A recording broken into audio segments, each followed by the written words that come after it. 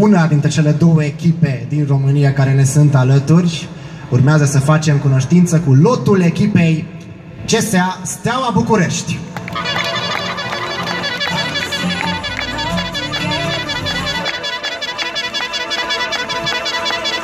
Bravo!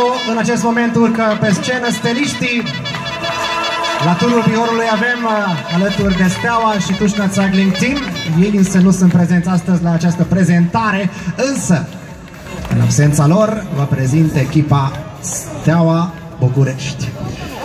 Cu următorii sportivi, Daniel Crista, Marius Petrache, locul 33 la turul ținutului secuiesc și atenție, locul 3 pe puncte, campion național. De asemenea, Cosmin Bidilici, Valentin Pleșa, anul trecut la Sibiu, locul 86 la total, locul 4 și locul 5 la campionatul național de ciclism. Dan Mihai Babaiță, Leonard Barbu și Horvat Roland. Dar steliști, aș vrea să aflu, evident, în partea voastră, care au fost antrenamentele ce v-au adus aici la Oradea, în Bihor, cu ce v-ați pregătit, aveți un sezon încărcat, cu siguranță veți merge și la alte curse UCI. Cum vă prezentați aici? Bună seara! Uh, am ajuns deja de câteva zile, timp în care am făcut antrenamente în zonele din împrejurim, chiar și porțiuni din traseul ce va urma în turul uh, uh Bihorului. Și Abia așteptăm să începem. Pentru mine e prima oară când vin aici. Prima oară, bine, asta e ediția a doua. Anul trecut am avut un succes fantastic pentru prima ediție. Din păcate nu mai avem deținătorul trofeului, n-a venit, echipa a venit însă.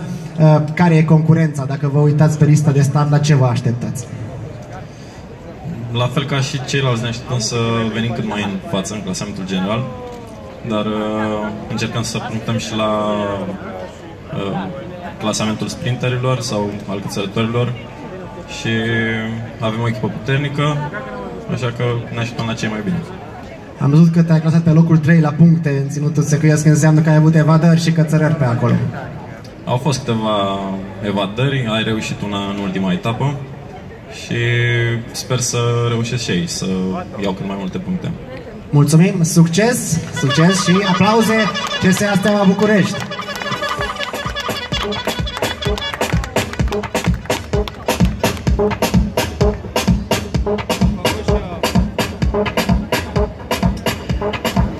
Avem două echipe din uh, Republica